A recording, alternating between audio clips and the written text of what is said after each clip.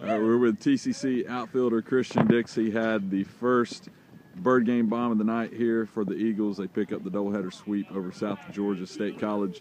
Christian, take us through the at bat where you got the home run in game one.